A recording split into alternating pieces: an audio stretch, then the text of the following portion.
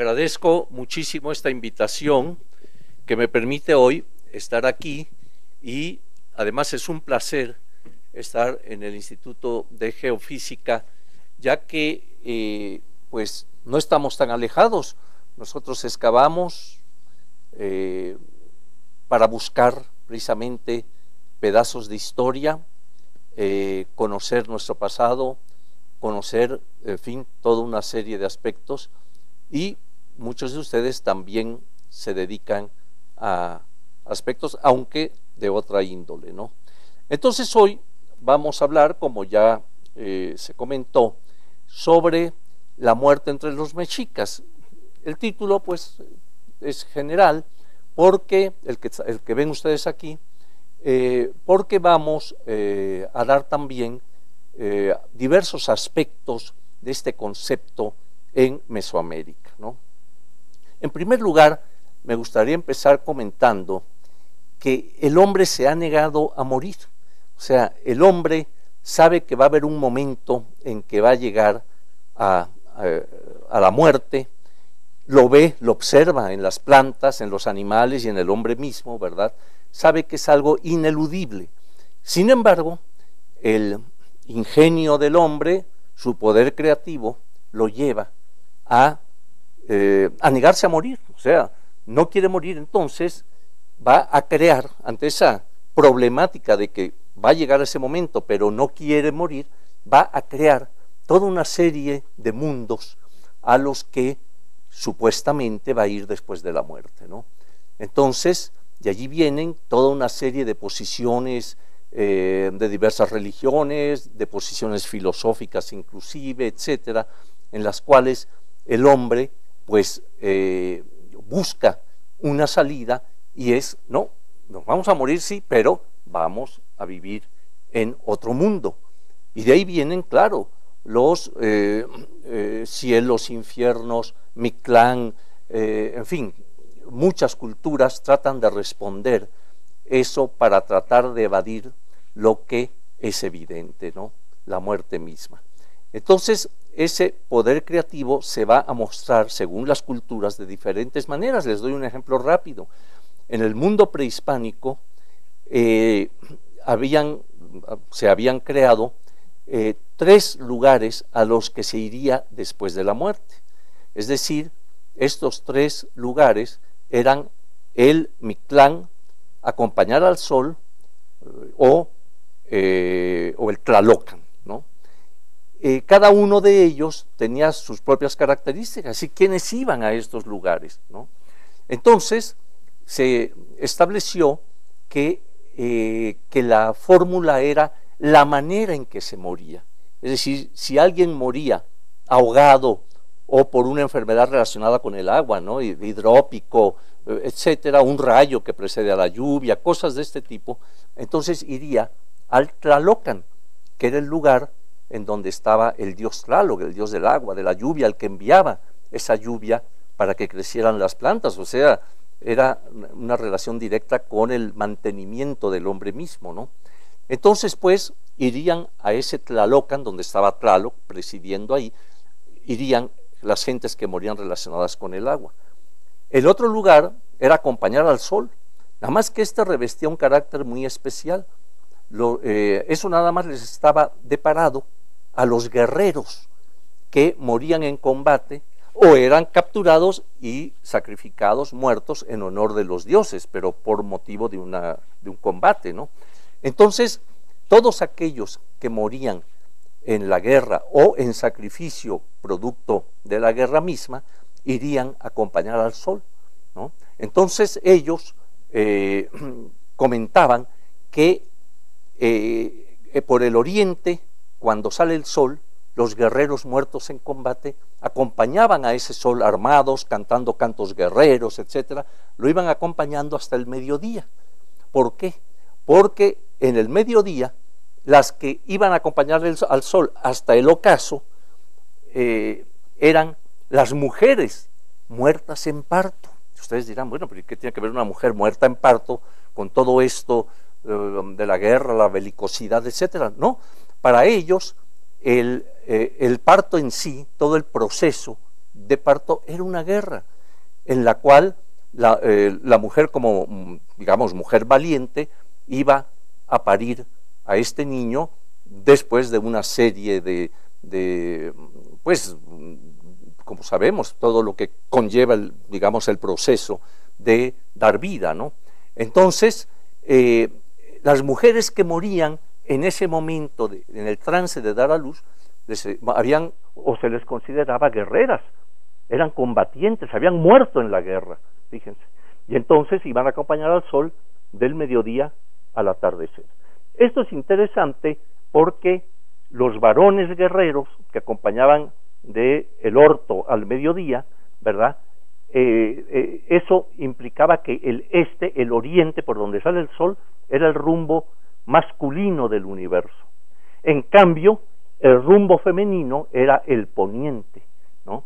Entonces, es interesante cómo los cuatro rumbos universales, en este caso el oriente y el poniente, tenían esa relación, rumbo masculino, rumbo femenino. Norte y sur tenían otras características, como era el, norte era la aridez, el, sacrificio, en fin, toda una serie de connotaciones, y el sur era la vegetación, la abundancia vegetal, la humedad y de otras cosas. ¿no? Entonces, pues, decíamos cómo estas personas muertas en, en, relación a la guerra eran las que iban a acompañar al sol en una parte de su recorrido. Había otro tercer lugar, que era el Mictlán. El Mictlán era un, eh, un sitio que, digamos, mm, podría hablarse que era como una especie de inframundo, ¿no?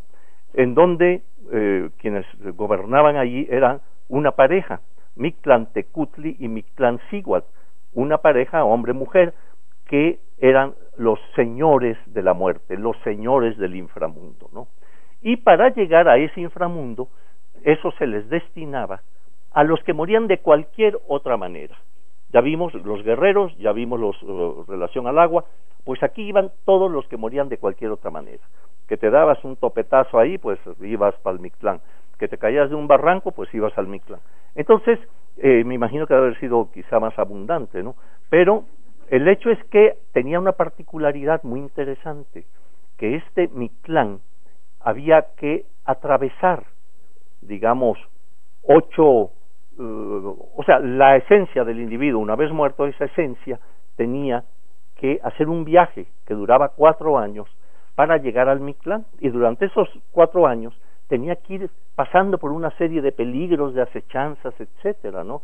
Eh, por ejemplo, eh, tenían que atravesar un lugar donde había una serpiente que amenazaba, tenían que pasar por un lugar donde había un viento frío de navajas que rasgaban, o sea, así, había varias peripecias por las que tenían que atravesar hasta llegar al noveno lugar, que era el Mictlán, el lugar de de Mictlantecutli, del señor del inframundo, ¿no?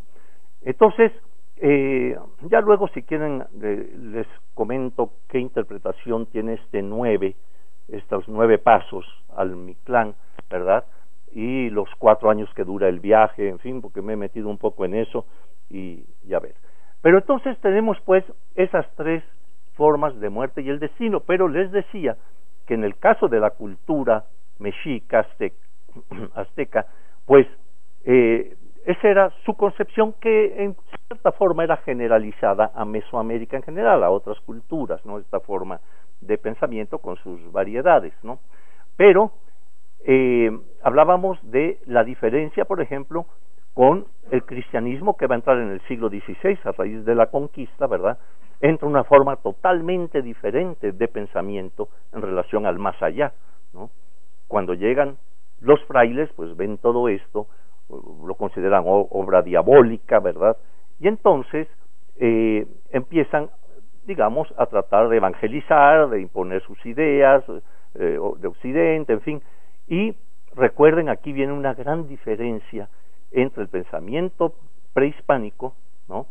Eh, que era, en pocas palabras, Octavio Paz, por cierto, tiene un, un pequeño título que es Dime cómo mueres y te diré quién eres, ¿no? Es decir, efectivamente, en el mundo prehispánico, dime cómo mueres, si mueres en la guerra, ya sé a dónde vas a ir, ¿no?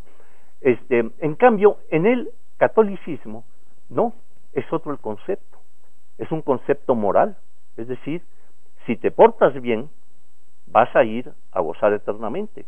Si te portas mal y estás en pecado, mortal, etcétera, etcétera, vas a ir a las llamas del infierno irremediablemente, ¿no? Eh, bueno, a veces tiene su tránsito por el purgatorio un rato para luego subir, pero este, pero era una forma de pensar diametralmente opuesta a la prehispánica. Entonces imagínense en aquel momento del siglo XVI el choque en cuanto a pensamientos de este tipo, ¿no? ¿Qué es lo que resulta finalmente? Pues una amalgama, ¿no? Es decir, eh, subyacen todavía actualmente algunos eh, términos y algunos eh, conceptos sobre el mundo prehispánico, por ejemplo, esos nueve pasos eh, todavía pueden verse en algunos grupos nahuas, pero ya con presencias católicas, es decir, bueno, vas pasando esas acechanzas, pero de repente encuentras un lugar donde hay corderos, pues era un animal que no existía en Mesoamérica, o, o, sigues a otro sitio y ahí está la Virgen María, o sea, ya se mezcla se hace allí un sincretismo y entonces vemos que ya es, digamos, un tercer, una tercera forma de pensamiento. Entonces, pues, en resumen, tenemos como base para ya arrancar y dar este panorama general eh, cómo era concebido ese más allá por los grupos prehispánicos. Eh, un aspecto también muy importante, muy interesante, es el de eh, digamos, el de la dualidad, ¿no? Muchos conceptos duales eran fundamentales porque eh, estas gentes veían en la naturaleza, igual que en todas partes en el mundo, ¿no? Veían que había noche y día, ¿no? Eh, había blanco y negro, había vida y muerte. Entonces, este concepto de vida y muerte viene de la observación que estaban haciendo de la naturaleza. Ellos veían que a lo año, que a lo largo del año trópico había una temporada de lluvias en que todo crecía, las plantas daban su verdor, daban sus frutos, etcétera, ¿verdad? Por medio de la lluvia y el agua, ¿no? Entonces veían que ese era el momento de vida, ¿no? Y la muerte era el momento de la seca, es decir, ya no había lluvia, los árboles perdían su verdor, ¿verdad? Ya no había cosecha hasta esperar el próximo ciclo, ¿no? Entonces, este concepto dual de vida y muerte eh, tenía un impacto tremendo en el mundo prehispánico, a grado tal que en el templo mayor de Tenochtitlan, por cierto, eh, vemos cómo es un edificio dual, o sea, tiene dos escaleras de acceso a su parte alta, tiene dos adoratorios, y a quién están dedicados? A Tlaloc, el dios del agua, de la fertilidad, de, de la vida, en pocas palabras, y a Huitzilopochtli, que era el dios guerrero por excelencia, del sacrificio de la muerte. Entonces vemos allí en una estructura arquitectónica plasmado la vida y la muerte, esta dualidad fundamental.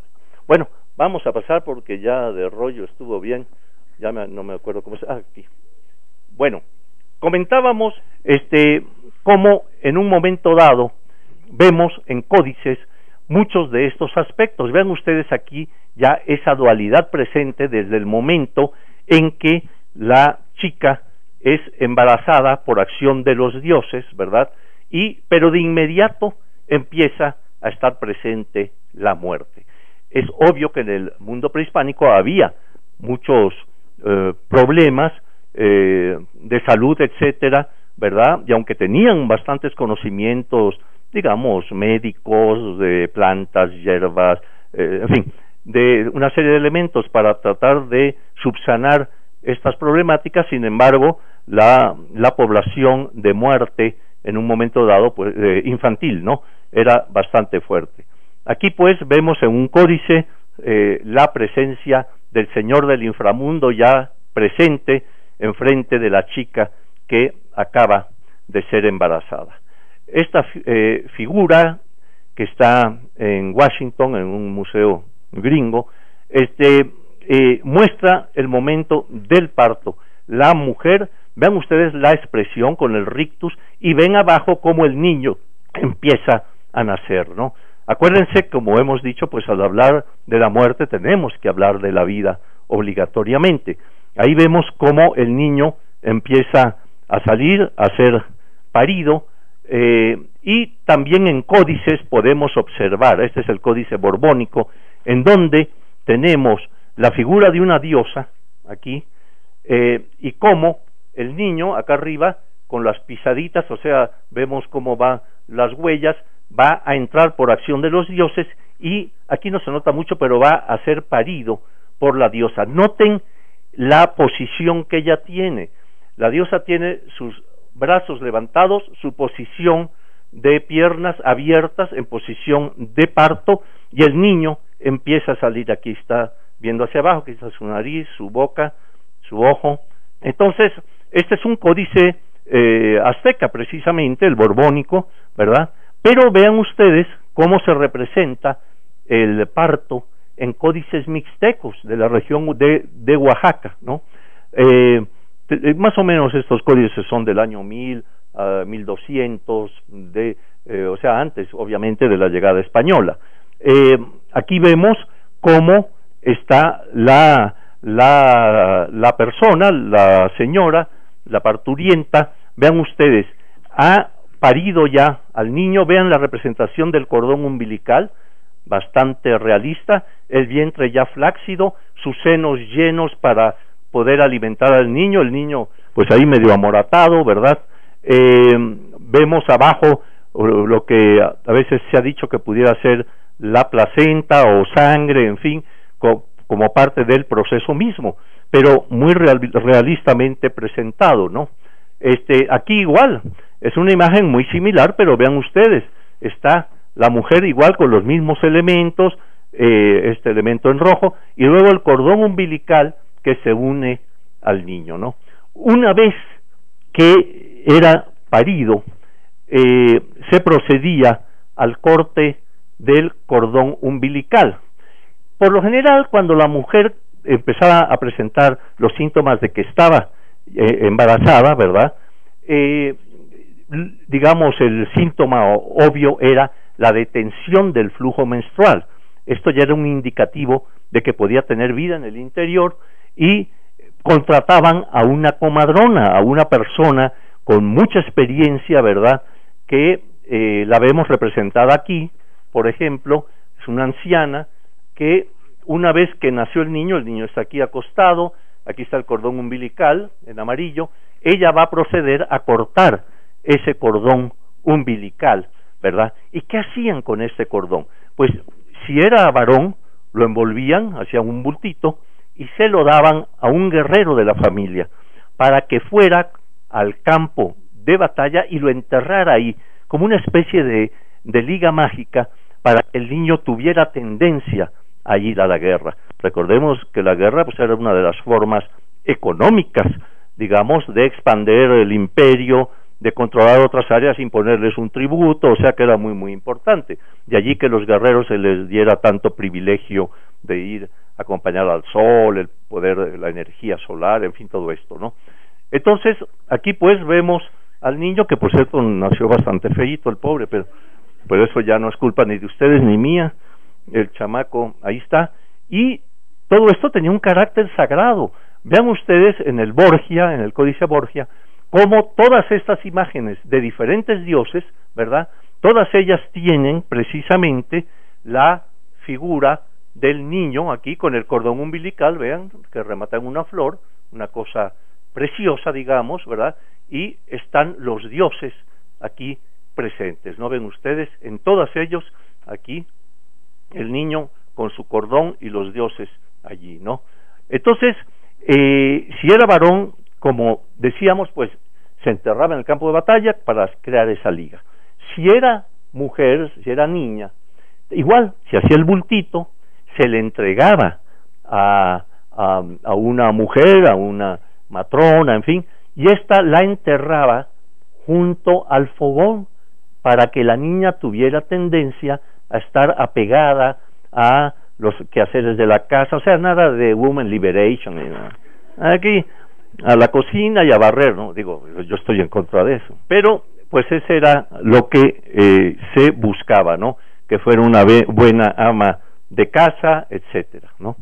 Entonces, pues, vemos que todo esto tenía pues un significado, un porqué y demás. Ahora rápidamente vamos a ver algo, vemos el nacimiento, ahora antes de entrar a la muerte vamos a ver algo relacionado con enfermedades. Aproveché porque había algunas imágenes y ver, aunque estas enfermedades que les voy a mostrar no son causantes de muerte necesariamente, sin embargo es interesante ver cómo, eh, digamos, la enfermedad también era visualizada en el mundo prehispánico. Por ejemplo, aquí tienen en Teotihuacán un mural, más o menos del año 500 de nuestra era, en el que, ay, ya se pasó, pero ahorita lo recatachamos, en el que vemos aquí el caso de un pie bot.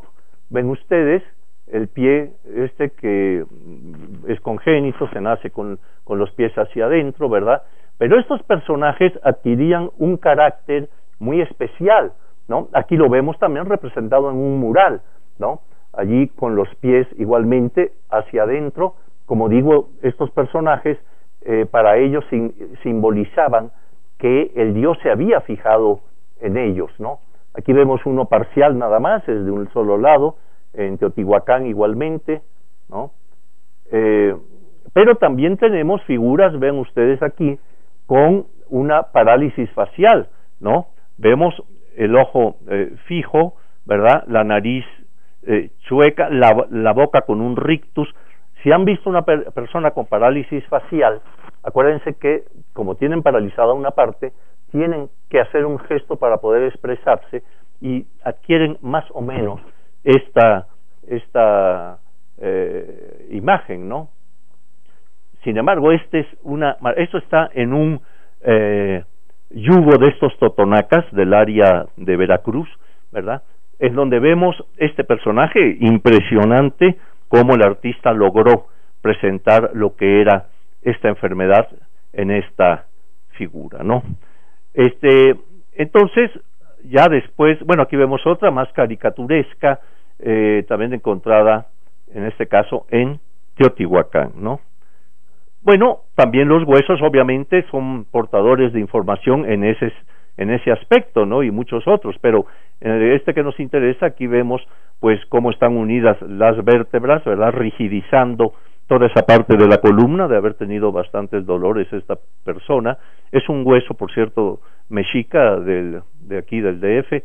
Este, aquí vemos algo que no es enfermedad, pero sí, por ejemplo, es una fractura de, eh, de Peroné, ¿verdad? Aquí, en la cual eh, ya hubo, eh, digamos, ya se, se arregló un poco mal porque no quedó perfectamente, pero eh, hubo una fractura ahí y por, por lo general tenían un buen conocimiento anatómico de esto. Aquí vemos eh, algunos cráneos con, con enfermedades pos, posiblemente de tipo luético, pero este eh, este cráneo viene del norte, ¿no? Y ahora sí, ya entramos al tema de la muerte, para que ustedes vean los antecedentes a lo mexica o azteca. Aquí tenemos Tlatilco, es un lugar que está muy cerca, allá por donde estaba el toreo de Cuatro Caminos. Eh, allí se encontró este sitio con una cantidad de enterramientos impresionantes. Ustedes ven, por ejemplo, que aquí vemos entierros, el cráneo, los, los, el tipo está extendido aquí igual, ¿verdad? Y acompañados de toda una serie de vasijas, de ollas, etcétera. Nada más que todo esto pertenece al año mil antes de nuestra era, para que se den una cuenta de la antigüedad, ¿no? Y, por cierto, que de allí proviene esta carita que nos está indicando esa dualidad que mencionábamos de vida y muerte. Vean ustedes cómo la, eh, la mascarita que proviene de ahí, de este sitio de mil años antes de nuestra era, tiene exactamente la mitad de la cara muerta, o sea, vemos aquí la órbita vacía, los dientes, el hueso malar, etcétera, etcétera, y sin embargo acá hay vida, es decir, tiene toda la, la piel, su ojo, eh, inclusive la lengua, es decir, estamos, estamos viendo el, ahora sí que la dualidad vida-muerte, ¿no? Pero ya desde esa época, del año mil antes de nuestra era, ¿no? También de Chiapas tenemos esta representación que quizás de las primeras del esqueleto entero, pues vemos cómo este, esto es una lápida de Izapa, Chiapas, más o menos del año 250, 300 antes de nuestra era. O sea, digamos que esto es pre-maya, ¿no? Eh, vemos el esqueleto sentado aquí, ¿verdad? Aquí vemos sus, eh, su fémur, su, sus fémures aquí, sus huesos, y el costillar, aquí el húmero, cúbito y radio en sus brazos, en fin, trae una especie de máscara enfrente de él, pero vean algo interesante, de aquí, diríamos que del ombligo, en cierta forma, surge este cordón umbilical, ¿no? Que se va a unir, aquí está un poco mal el, eh, esta parte, pero se va a unir a un niño precisamente, o sea, que la muerte ha parido, ha dado vida.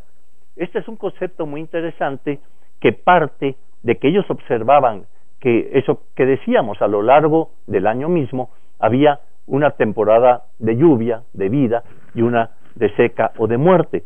Sin embargo, de esa temporada de muerte volvía a venir, a, venir vida a través de la lluvia, etcétera. Entonces, para ellos era un ciclo constante, ¿no? Vida, muerte, vida, muerte.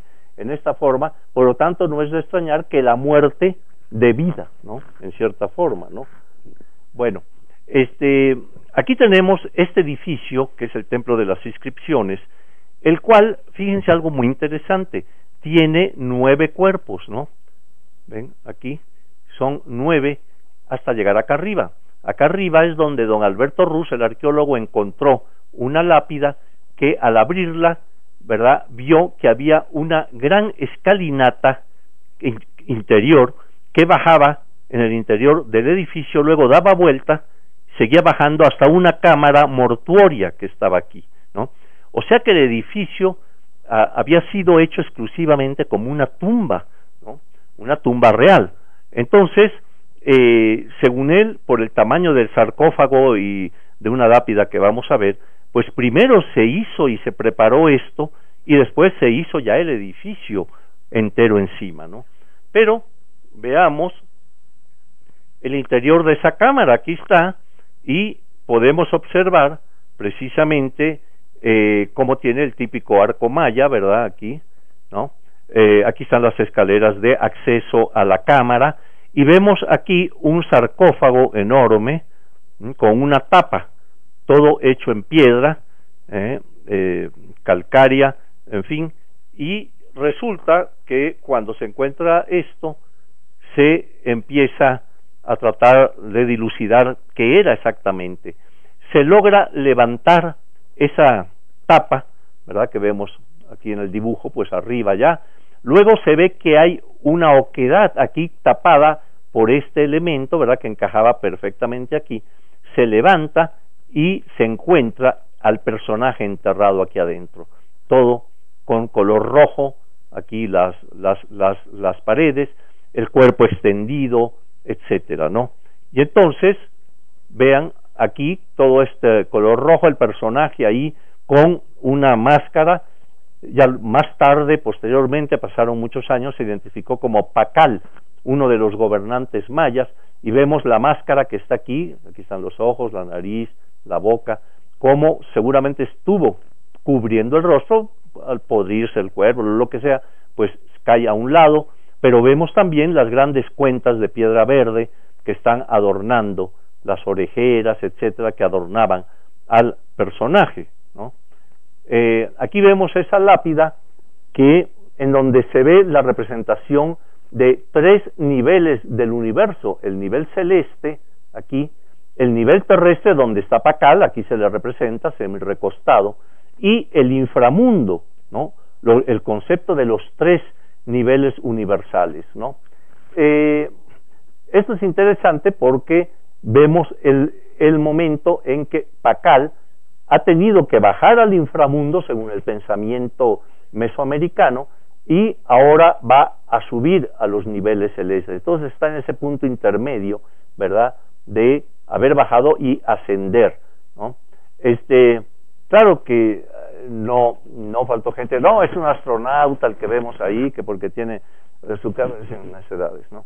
Este, pero bueno, el hecho es que así eh, se le representó en esta pieza magnífica que pues todavía se puede ver allá en, en Palenque, ¿no?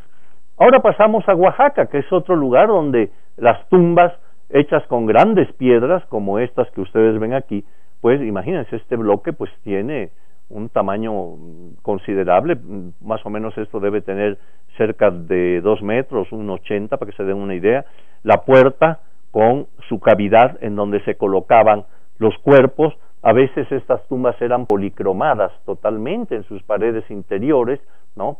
Eh, por ejemplo, en Sachila se encontró eh, una tumba que estamos adentro, pero vean ustedes cómo se eh, vemos una figura esquelética aquí, sus piernas, etcétera, sus brazos, y que está también grabado al interior de la tumba. Estas tumbas son tumbas mixtecas, ya más o menos del año 1000 en adelante, ¿no? Para que ustedes se den una idea.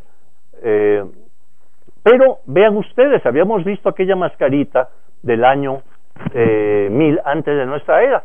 Esta es ya del año 800 de nuestra era, imagínense ya una, han pasado muchos siglos, sin embargo el concepto está presente otra vez, ¿no? Aquí vemos claramente lo que es otra vez este rostro dual, ¿no?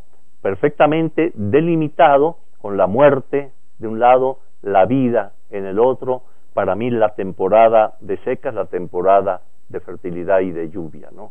Más o menos, como decíamos, año 800 de eh, nuestra era, ¿no? También esa viene de Soyaltepec, en Oaxaca. Ahora pasamos nuevamente al altiplano, al centro de México, donde hemos encontrado una cantidad de elementos relacionados con la muerte, como este cráneo de barro, tamaño natural, es un tamaño más o menos de una calavera, digamos de un cráneo, ¿verdad? Que procede de Tula Hidalgo, ¿no? Este me tocó excavarlo en Tula, también viene de allá, pero vean ustedes, es un sahumador, o sea, es un recipiente para colocar en su interior, acá, ¿verdad? Ven ustedes, está hueco acá adentro, este, colocar el copal, etcétera, ¿verdad? Tiene un mango muy largo, como se observa aquí, en forma de fémur, ¿no? Eh, en esta parte, y encontramos dos, ¿eh? dos similares, el cráneo y el fémur, con el cual se hacían seguramente ceremonias eh, en determinados momentos, ¿no? Y esta que es una figura excepcional, por cierto, es de la colección de la universidad, de, de aquí, de la UNAM, y vemos cómo el individuo, el artista prehispánico que hizo esto, realmente tenía ya todo un concepto impresionante. Primero ven en el centro el, hombre joven, es decir, el individuo pintado de rojo, ¿no? El vigor, la, eh, todo esto. Después, a los lados, vemos cómo se abre. A, los lados ven en amarillo ya el, la, la vejez, ¿no? El individuo ya desdentado, eh, con arrugas, ¿no?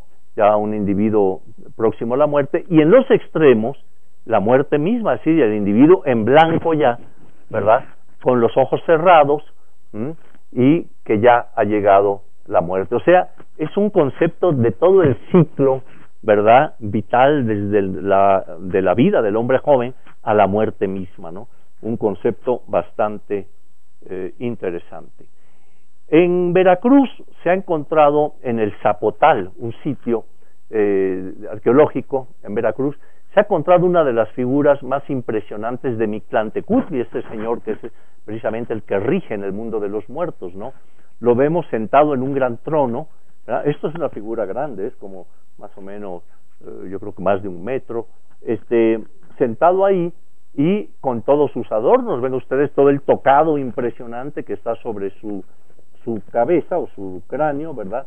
Y cómo está adornado con grandes orejeras, ¿verdad? sus costillas aquí, en fin, su taparrabos, pero vean ustedes que tiene carne, por ejemplo, en los muslos, en cambio, en parte de los brazos se alcanza a ver el hueso, aquí está el cúbito y el radio, por ejemplo, ¿no?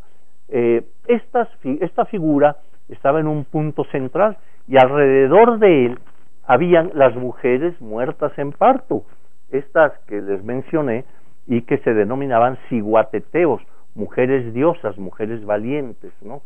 Y allí mismo, eh, de, Veracruz, vean ustedes, esas sí son figuras como de este tamaño, casi tamaño natural, ¿no?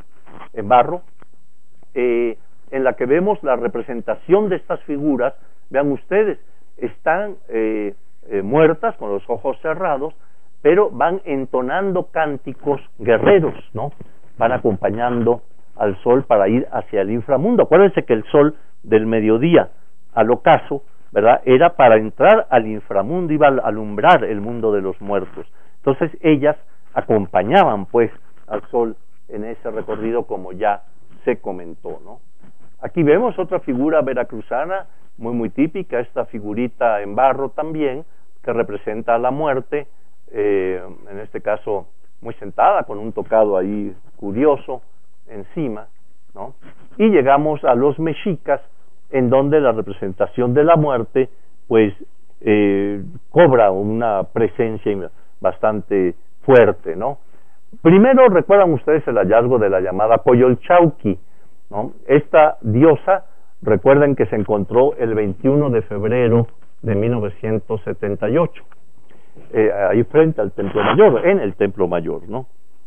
Y vemos sus características. Eh, primero es una piedra volcánica, eh, en este caso es una andesita, y vemos cómo se representa el cuerpo de la diosa, pero noten que está desmembrado, es decir, tiene los brazos separados del tronco, las piernas separadas igualmente, ¿no? Y está decapitada aquí. Entonces, la, la cabeza, pues con su gran penacho, eh, igualmente está separada. ¿A qué obedece? Mide 3,25 de diámetro. ¿no? Para que se den una idea en cuanto al tamaño, ¿no? Entonces, esta representación así mutilada, desmembrada, decapitada, obedece a un mito, un mito que, eh, que, se que lo leemos, por ejemplo, ya en las crónicas de Fray Bernardino de Sagún, en donde nos relata que un día la diosa de la tierra, Tlaltecutli o Cuatlicue, tiene varios nombres, estaba barriendo allí en ese cerro de Coatepec y eh, en eso vino un plumón, una pluma blanca que recogió, guardó en su seno y quedó automáticamente embarazada. Al quedar embarazada, eh, sus otros hijos de esta diosa de la tierra se indignan, ¿no? Eh, y dicen, oiga, eh, nuestra madre nos afrenta, como que un embarazo misterioso, o sea que no se creyeron lo de la plumita. Y, este, y, entonces esta, que era hija de la diosa de la tierra, incita a sus demás hermanos, ¿verdad?, eh, a que vayan al Cerro Cotepec y maten a su madre por lo que consideran una afrenta, aquel embarazo de la plumita, ¿no? Y así lo hacen, se arman para el combate, dice este mito, eh, se atavían con las grandes plumas de guerra, ¿no? Todo esto, y empiezan a marchar hacia el cerro de Coatepec para llevar a cabo la, muerte de la otra diosa. Eh, pero cuando ya se iban acercando, la diosa de la tierra que estaba allí eh, preñada y todo, con temor de que ve que sus propios hijos ya vienen contra ella, de repente le habla el que está en el vientre y le dice, madre, no te preocupes, yo te voy a defender en contra de mis hermanos, medios hermanos, en fin, lo que fueran, ¿no? Aquel lío de faldas. Este, y entonces el, el hecho es que en un momento dado se va a, digamos, Huitzilopochtli, que era el que estaba en el vientre, imagínense, el dios de la guerra, va a precisamente eh, a nacer, es decir, va a nacer para combatir a sus hermanos o a sus medios hermanos, ¿no? Lo hace arremete en contra de ellos, ¿verdad? Los vence, los esparce por todo el universo, se convierten en estrellas, ¿verdad? Eh, ella, Coyolchauqui, que los encabezaba, representa a la luna, inclusive la forma misma, ¿verdad? Representa a la luna, es una deidad lunar, ¿verdad? Y pero Huitzilopochtli es el sol. Entonces Huitzilopochtli nace, ¿no? Para ese combate, empieza, como digo, a corretearlos, a vencerlos, a perseguirlos, a matarlos, captura a Coyolchauqui, y la decapita en lo alto de ese cerro de Coatepec y arroja el cuerpo. El cuerpo va cayendo y va desmembrándose hasta llegar al fondo. Entonces, esto es interesante porque en realidad está eh, permitiéndole al mexica justificar con elementos teológicos, ¿verdad?, su ansia de ir a conquistar otros pueblos. Es decir, bueno, nuestro dios Huitzilopochtli nació para combatir, el mexica azteca ha nacido para el combate también. O sea, sí, pues para irse a apoderar de las cosas de los otros. Bueno, pero bueno, ah, así son estas cosas. Aquí tenemos la representación de eh, estas iguateteos, de estas mujeres muertas en parto, han salido varias. Aquí tenemos, por ejemplo, esta, todas estas ya son aztecas, ya son mexicas, y podemos observar cómo se les representa, ¿no? Con su faldellín, con, en este caso con su collar de manos y de cráneos, eh, semidescarnada, como pueden observar, en fin. Aquí tenemos otra, ven, eh, también con sus manos levantadas eh, y descarnada por lo menos la parte del rostro, ¿no? Porque vemos también sus senos, su falda, en fin. Y aquí vemos una cuatlicue, otra más, en donde eh, ocurre eso mismo, tiene sus grandes garras, tiene su rostro semidescarnado, porque vemos también que tiene sus oídos, sus orejas, eh, sus senos, ¿no? Su falda de serpientes que le da nombre, coatlicue quiere decir eso, la de falda de serpientes, ¿verdad? Y unas como garras abajo en forma de pies, ¿no? Eh, entonces vemos cómo hay toda esta relación con el inframundo, con la muerte y demás, ¿no? También tenemos ya la presencia que hemos encontrado en el Templo Mayor, eh, vestigios arquitectónicos, ya les había dicho como el templo mismo indica esta dualidad vida-muerte, como en el templo maya, en Palenque, había los nueve pasos al inframundo, estos nueve cuerpos, y aquí vemos que al norte del templo mayor vemos su muro eh, acá adentro, la parte norte del muro norte, y vemos cómo viene un pequeño altar aquí que está decorado, vean ustedes, cada uno de estos es un cráneo, ¿no? Entonces son en los cuatro lados, en el otro está una escalera, en los cuatro lados tiene más de 240 cráneos eh, en piedra, eh, encalados, tienen cal encima para dar este color blanco y demás, ¿no? Ahora, no nos extrañó cuando salió este templo porque está exactamente al norte del templo mayor. Y resulta que el rumbo norte, como les comenté, era el lugar de lo seco, del cuchillo de sacrificios, el rumbo del Mictlampa, el rumbo de los muertos, etcétera. O sea que tenía toda una connotación con esos elementos de muerte, seco, frío, etcétera, ¿no? Entonces, pues ahí está. Bueno, uno de los últimos hallazgos aquí no ven casi nada porque la tomamos el momento que empezaba a aparecer, es una escultura que aquí, esto es tierra todo, y empezamos a encontrar el rostro, aquí vemos un cráneo, ¿verdad? Con sus cuencas, sus ojos aquí, su boca, ¿no? Eh, y empezamos a excavarlo y resultó ser, aquí está, más, más claramente, eh, este cráneo, y resultó ser una ahí vemos una garra, ahí se ven tres, cuatro dedos levantados con grandes uñas, ¿no? Pero esto fue esta figura de más o menos unos 70, 76, o sea, es una figura mm, casi de mi altura, si no es que un poco más. Eh, eran dos, eh, en realidad, que representa al señor del inframundo, a Mictlantecutli, ¿no? Ven otra vez con las garras levantadas y eh, notan ustedes que entre las costillas hay un elemento tribulado aquí, ¿no? que es el hígado. ¿no? Eh, también está semidescarnado, vemos que los muslos y las piernas, en fin, tiene carne, pero aquí ya vemos las costillas, el cráneo mismo, y ven ustedes unos como agujeritos aquí que eran para colocarle pelo. Hay códices en los que se ve a Mictlantecutli con pelo, seguramente era pelo de muerto que le colocaban para pues darle una apariencia más eh, viva, vamos a decir, lo cual provoca mi envidia, pero eh, aquí está visto de lado, vean ustedes, estas figuras enormes, ¿no? Un alto, estas sí se pueden ver en el templo mayor, ¿no? Y finalmente, ya para concluir y no atormentarlos mucho, eh, tenemos la presencia, por ejemplo, en Tlatelolco, que era una ciudad también azteca, mexica, hermana de Tenochtitlan, ¿verdad? En Tlatelolco, donde está ahí eh, la zona arqueológica y estaban antes relaciones exteriores, allí encontramos en un momento dado grandes ollas, vean ustedes, eran grandes ollas de este tamaño, ¿eh? en las que se habían colocado individuos muertos en su interior. La olla tenía eh, la, la característica de ser una matriz. Fíjense, era un lugar en que en la casa del azteca se guardaba, por ejemplo, se almacenaba grano o agua para el uso diario, ¿no? O sea, era un lugar de los elementos vitales, el alimento que da vida, el agua que da vida, etcétera. Pues algunas ollas se usaban para colocar al individuo en posición fetal.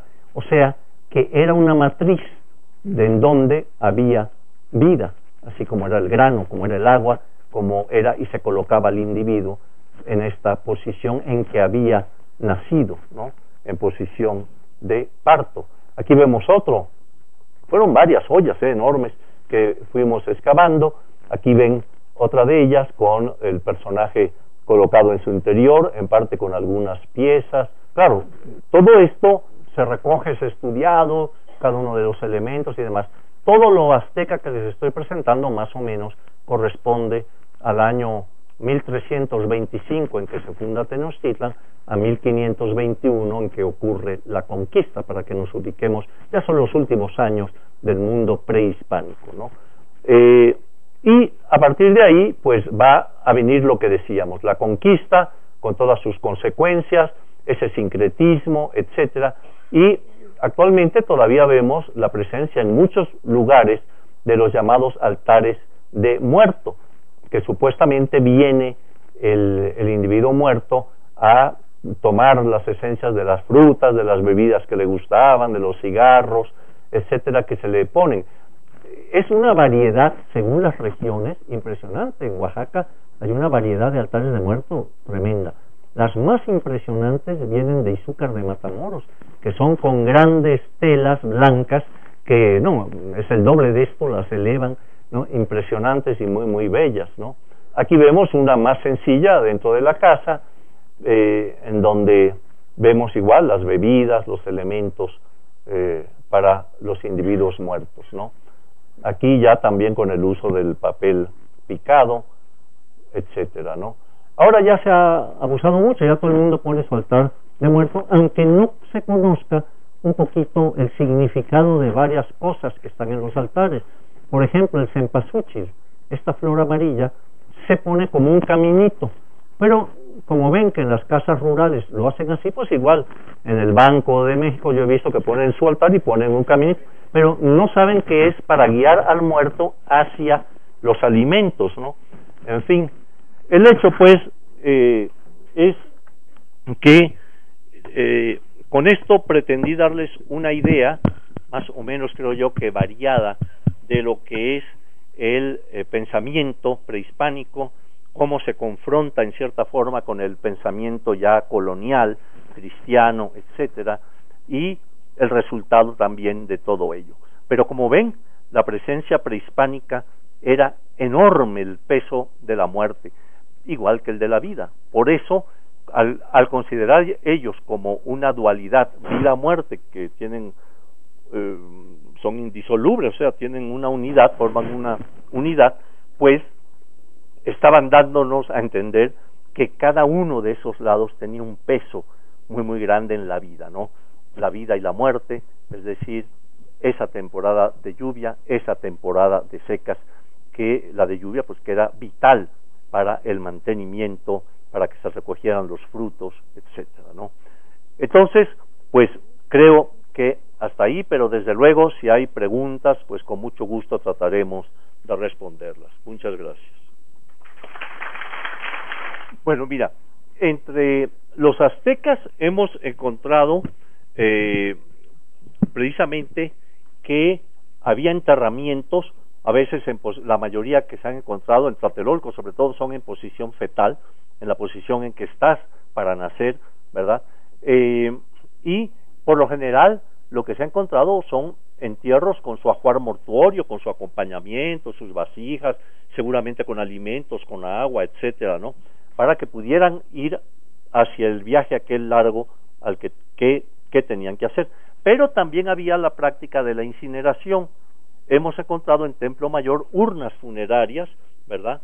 Pero la incineración, de eso no les hablé, eh, se daba principalmente a los guerreros muertos, muertos, es decir, eh, a los guerreros que morían en combate o, a consecuencia de heridas, todo esto, entonces se les cremaba, no se les ponía crema, sino se les quemaba más bien, ¿no? Entonces, este, esos huesos calcinados hemos encontrado que los metían en urnas, pero eso mismo hacían con el Tlatuani, con el máximo gobernante, ¿no? Eh, también era, claro, era el gran jefe de los ejércitos, entonces por lo tanto tenía al morir que ser quemado igualmente, ¿no? Entonces hemos encontrado algunas urnas muy interesantes con restos adentro, ¿no? Esa era la práctica aquí en el eh, en el centro entre los mexicas, porque vimos, por ejemplo, en la zona maya que los grandes personajes sí tenían estas tumbas suntuosas o en Oaxaca, en, eh, eh, digamos, en que sí había esta presencia, ¿no? Y la gente del pueblo, por lo general, se le enterraba, eh, mira, se, a veces se hacía en, eh, un bulto mortuorio, es decir, agarraban el cuerpo del individuo muerto de cualquier forma, que no, no listo para incinerarse, pero este, sino muerto de otra forma, se le ponía en cuclillas, otra vez en posición fetal, se le envolvía, dicen, en eh, telas muy ricas, se le ponían adornos de papel y una máscara al bulto mortuorio aquel, se le colocaba una máscara. Entonces, esto era muy, muy común en Teotihuacán, se han encontrado, por ejemplo, 300 personajes enterrados debajo de los pisos de las casas de la gente común, vamos a decir, ¿verdad? En posición fetal, alguno que otro extendido, pero en su mayoría en posición fetal, ¿verdad? Y que se ve que fueron quizá envueltos en estos elementos, ¿no? O sea que, pues no sé si contesté tu pregunta, pero está interesante. Este, en el caso de la primera pregunta, que ya no me acuerdo cuál era. Ah, ¿y por qué se le simboliza Huitzilopochtli con un ah, colibrí? Bueno, es que hay una cosa, eh, Huitzilopochtli, digamos, ese es el nombre de la deidad, que efectivamente Huitzil es eh, el colibrí, ¿no? El colibrí zurdo, el colibrí del sur, ¿no? Este, eh, y se le representa así, pero tiene una connotación de águila, es decir, porque el águila es el ave que vuela más alto igual que el sol, entonces el águila y sol son equiparables, entonces también tiene esa connotación ya de carácter solar, en que el águila también se le representa ya en su carácter solar, ¿no? En cuanto al soldado, no le digas para que sufra, que, no, sepa que, cuál es la... No, sí, pues eh, mira, esta figura que mostré, que dije que era de la UNAM, la de los tres, esta que es impresionante, esa está en la colección, pero no, que yo recuerde, no dice procedencia, ¿eh? no se sabe cómo se encontró o algo así, ¿eh? no lo hay. Sí, mira, en general vemos que hay una eh, secuencia desde Tratilco, desde mil años, antes de nuestra era, ¿verdad? Eh, de ciertas ideas que vienen, vienen y dan al final con lo mexica, que ya es el último grupo, como decíamos, ya cercano a la conquista española. Pero en términos generales, Mesoamérica, que abarcaba, como saben, pues parte del todo el centro de México hacia abajo hasta el área maya, inclusive eh, lugares mayas de Guatemala, eh, Honduras, etcétera, Belice, eh, tenían en términos generales un pensamiento religioso más o menos similar con sus diferencias locales, pero más o menos similar en cuanto a que estaba el inframundo, a que estaba los niveles celestes, todo esto, más o menos da aplicándole sus propios nombres, porque claro, hablaban diferentes lenguas, ¿no? Entonces, este, eh, pero diríamos, por ejemplo, si leemos el Popol Vuh, ¿no? Vamos a ver ahí cómo para bajar al inframundo hay que pasar toda una serie de casas, una con murciélagos, otros con, ¿no? Igual que había que bajar al inframundo acá y ir pasando estos lugares de, de, peligro y todo, ¿no? O sea que eh, una vez hubo un simposio sobre religión en Mesoamérica, religión o religiones en Mesoamérica, y se llegó al final a la idea de que había una religión más o menos generalizada con versiones locales, obviamente, según las culturas en que se daban. Mira, el cielo, así dicho, es un concepto muy cristiano, es decir, voy al cielo donde está Dios, voy a ir a ver, están los ángeles, en fin, eh, los seres más o menos puros, todo, todo este, esta idea. esto no, no era el concepto prehispánico, ¿no? Era eh, acompañar al sol, sobre todo. O sea, era acompañar al principal astro en su recorrido, como lo mencionamos, ¿no? Pero no era necesariamente ir a ese cielo, ¿no? El cielo estaba ocupado por ciertas deidades, varios de los niveles, había, se dice, trece cielos, por ejemplo, ¿no? Eh, pero en realidad el aspecto de la muerte era acompañar al sol para ir, pero no con esa otra idea de que tenías que ser eh, puro, digamos, sin pecado, como es el catolicismo, sino que aquí era, eh, mira, todo el código moral, por ejemplo, de lo que se consideraba malo o bueno, que existe en todas las sociedades, estaba marcado y, eh, digamos, penado en la tierra. O sea, si tú eras un adúltero, pues te iban a apedrear, ese era el, reglamento, ¿no? Y te apedreaban a él y a ella, ¿no?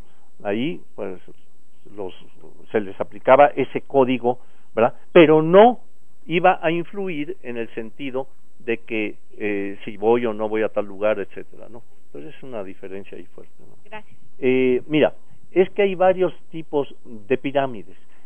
Hay pirámides que juegan el papel de centro del universo. Por ejemplo, los templos mayores, los templos principales, Pirámide del Sol en Teotihuacán, eh, Templo Mayor de Tenochtitlan, Templo Mayor de Tlatelolco, de Tenayuca, etcétera, en el centro de México, eran lo que indicaba el centro del universo para ellos, o sea que era un lugar de mucha sacralidad. Se suponía que en esos edificios se concentraba la mayor sacralidad a ser el lugar que lo mismo se subía eh, digamos, a los niveles celestes, que se bajaba al inframundo y de él partían los cuatro rumbos universales, ¿no? O sea, estaban en el mero centro, ¿no? Del universo, de esa concepción, ¿no? Entonces, pero eso eran esos templos principales, que por lo general eran los de mayor tamaño, altura, etcétera. Pero había muchos otros templos más con otro carácter. Dependía también de la deidad a que estuviera consagrado. Fíjate, Sagún nos da un relato de 78 edificios dentro del recinto ceremonial de Tenochtitlan, o sea, el zócalo de Tenochtitlan este, tenía hasta 78 lugares y muchos eran a diferentes dioses, había un templo al dios de tal cosa, había un templo a Hecatl, había un templo a fulano, a tal diosa, o sea, y solamente el templo mayor tenía esta dualidad, ¿no? Por cierto, de vida muerte, todo esto que hemos hablado. Entonces sí había distintos tipos de templos según a quién se le dedicara y también, pero el carácter de gran, gran, gran sacralidad, todos los templos eran sagrados, pero el de gran sacralidad por ser el centro del universo se le daban edificios como eh, los que hemos mencionado, ¿no? Para construir un, un edificio, claro, iba a depender de la situación del grupo que quería erigir el edificio. Por ejemplo, eh, digamos, había grupos sometidos que pues les decían, tú vas a construir allá, pero no acá, ¿verdad? O sea, entonces, eh, por lo general, eh, se buscaba que estos edificios, sobre todo los grandes, que eran centro de universo, tuvieran varias características, ahí sí, ¿no? Por ejemplo, yo he estudiado eso. Estos edificios tienen una orientación específica, están viendo siempre hacia el poniente, donde cae el sol. ¿no? Hacia el ocaso, ¿no? Una. Dos, por lo general tienen que tener un elemento interior como una especie de cueva. Si no existe la cueva, la hacen artificial. El hombre crea esa cueva, como es el caso de la pirámide del Sol en Teotihuacán, que tiene abajo de ella una cueva de 102 metros de largo, ¿eh? Eh, con paredes y cosas, qué sé yo, y ahorita se está excavando una, habrán oído, ¿no? Que en la ciudadela se está excavando otra, un túnel, en fin. Bueno, entonces, ¿por qué?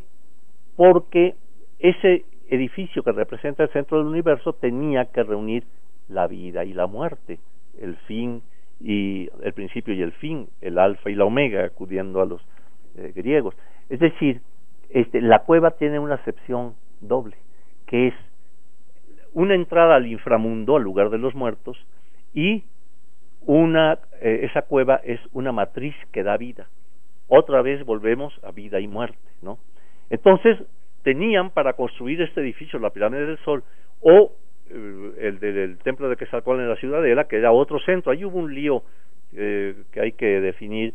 Eh, hacia el año 250 parece que en Teotihuacán hubo algún problema social y resulta que el centro del universo se cambió hacia el área de la ciudadela, ¿no? Entonces, en ambos edificios eh, hay estos túneles, ¿no? En Templo Mayor lo hay, nada más que como son dos edificios que conforman un todo, con sus dos adoratorios arriba, ¿verdad? En la escalinata abajo, en cada uno de esos lados, como no había cuevas, ¿verdad? Las inventan, entonces crearon cámaras, dos cámaras, una a cada lado, ¿verdad? Con una serie de vestigios, de un lado está Tlaloc, etcétera, una serie de elementos y de cosas, ¿no? Entonces, digamos que sí era necesario para los edificios que tienen este carácter tener esa cueva, ¿verdad? Natural o artificial, hecha ya por el hombre, para que tuviera ese carácter de lugar de principio y fin, ¿no? Bueno, yo he esbozado una idea que no sé tampoco si sea totalmente correcta, pero Cuicuilco es muy antiguo.